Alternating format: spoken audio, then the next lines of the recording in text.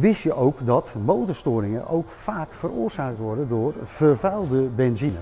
Dit eh, komt ook vaak voor omdat er steeds meer ethanol in de brandstof uh, voorkomt. Dit, dit, is, dit vervuilt ook veel sneller. En dat geeft dan storing dat je motor onregelmatig gaat lopen en ook kan afslaan. wij hebben daarvoor, gebruiken daarvoor de brandstofreiniger. Het is een simpel product wat men zelf heel makkelijk in de brandstoftank kan gieten. En gaat dan direct de brandstof in en zorgt voor de, voor de reinigende werking in de brandstof, gaat via de verbranding ook weer uh, het systeem uit. Plan je afspraak bij lauwman.nl voor de onderhoudsbeurt en vergeet niet dit product, de brandstofreiniger, toe te voegen om storingen te voorkomen.